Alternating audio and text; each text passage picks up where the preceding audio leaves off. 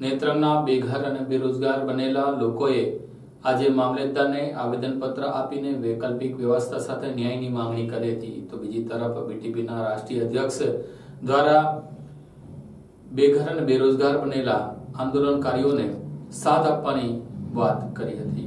ભરૂચ જિલ્લાના અંકલેશ્વર તાલુકામાં ત્રીસ તારીખના રોજ લગભગ ત્રણસો જેટલા મકાનો, દુકાનો રેલવે હદમાં તોડી પાડ્યા હતા. રેલવે વિભાગ દ્વારા કેટલાક એવા મકાનો પણ તોડ્યા છે કે જે માલિકીના હતા. તેવો આક્ષેપ કર્યો છે લોકોએ. ત્યારે બે દિવસથી લગભગ સાતસો થી આઠસો માણસો રોડ ઉપર સુવે છે. નાના બાળકો સગીર વયની બાળાઓ, યુવતીઓ અને તેના પરિવારજનો કાટમાળમાંથી પોતાના પરિવાર માટેનો સામાન શોધી રહ્યા છે. કપડા, વાસણો શોધી રહ્યા છે. ત્યારે બેઘર, બેરોજગાર બનેલા આ લોકો અને બેઘર બનેલા લોકો આજે રેલી સ્વરૂપે ન્યાય આપો, ન્યાય આપોના સૂત્રોચ્ચાર સાથે મામલેદાર કચેરી ખાતે પહોંચ્યા હતા. ત્યાં મામલેદાર કચેરી ખાતે જઈને લગભગ છસો સાતસો માણસના ટોળાએ મામલેદારને રજૂઆત કરી હતી કે તેમને વૈકલ્પિક વ્યવસ્થા કરવામાં આવે. કારણ કે હવે તેઓ લૂંટાઈ ગયા છે. રેલવે દ્વારા તારીખ ત્રીસ ના રોજ જે ડિમોલ્યુશન કરવામાં આવ્યું, તેમાં એમની ઘર બકરી તેમનો કપડાં સહિતનો સામાન તો કાટમાળમાં ડબાઈ જ ગયો, પરંતુ તેમની રોજીરોટી પણ છીનવાઈ ગઈ. તેમણે પોતાના આવેદનપત્રમાં ઉલ્લેખ કર્યો છે કે નોટબંધી બાદ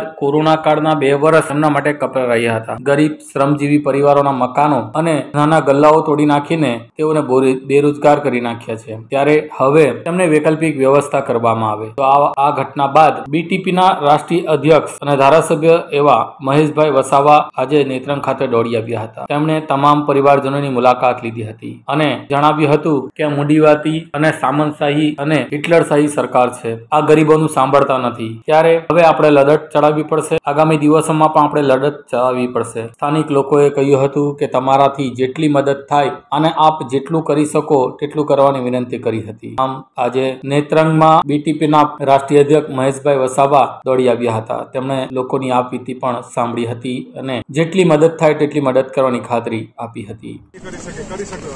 આપણે હિંમતને હોસલે રાખો. લોકોને જોઈ અને આઝાદી પકડી રહી છે લોકોની આઝાદી પકડી રહી છે. લોકો મૃત્યુ કે ભાઈ આત્મહત્યા કરી લેવા આપણી આત્મહત્યા કરવા તૈયાર થયા આત્મહત્યા કરવા તૈયાર થયા છે. એના સાહેબ શ્રી અમારે અત્યારે આપણી પાસે એટલી જ માંગણી છે સાહેબ કે અત્યારે લોકોને ફક્ત ખાલી ઘરનું ઘર મળે પ્લોટ મળે જે કઈ સહાય મળે અને પાંચ લાખ રૂપિયાનું તાત્કાલિક ધોરણે જો વળતર મળે તો લોકો અત્યારે ઘર પગભર થઈ શકે.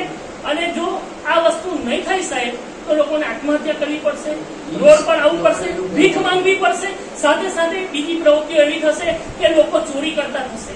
રોજગાર દારૂ પીતા થઈ જશે ટેન્શનમાં આવીને દારૂ પીતા થઈ જશે અગુનાહિત પ્રવૃત્તિ કરતા થઈ જશે. આ બધી વસ્તુઓ માનસિક રીતે ત્રાસી, ત્રાસ થઈ જશે લોકોને અને માનસિક રીતે હેરાન થઈ જશે સાહેબ. તો આપ શ્રીને સાહેબ નમ્ર વિનંતી એ હાથ જોડી અને ત્રીજું માથું, મારે એક હજાર લોકો સાથેની હું નિવેદન વિનંતી કરવા આવ્યો છું.